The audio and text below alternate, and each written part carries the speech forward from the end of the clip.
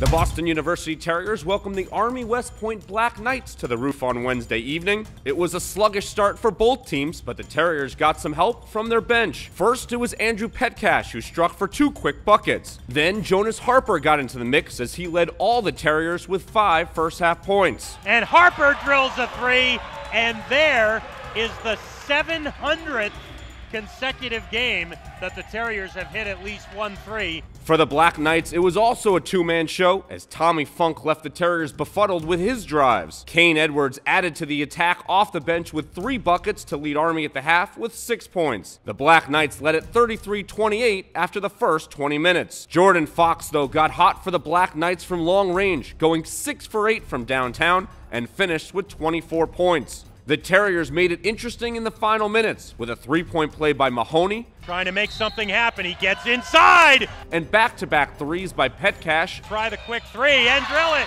And Harper. Harper will try the three and drill it. Army hit some free throws down the stretch and would hold on to beat the Terriers 86 to 82.